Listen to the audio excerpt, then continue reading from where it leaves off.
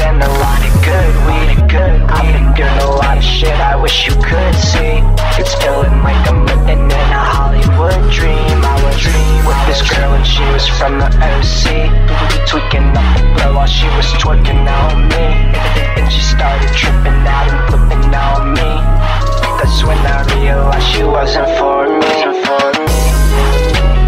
I'm not trying to be that